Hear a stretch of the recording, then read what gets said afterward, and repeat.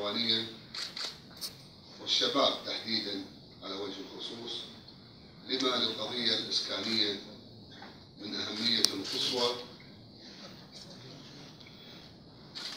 ونحن جميعا بالتوجيهات السامية لمقام سيدي حضرة صاحب السمو أمير البلاد الشيخ صباح الأحمد جابر الصباح رضي الله ورعاه وسيدي سمو ولي العهد الشيخ نواف الأحمد جابر الصباح رضي الله ورعاه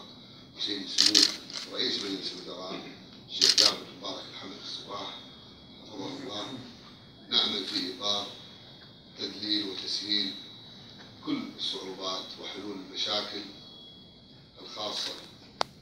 آه، في اهالي المحافظة بشكل خاص وزملائي الأخوة المحافظين جميعا بارك الله فيهم على مستوى المحافظات الست بشكل عام بحيث يكون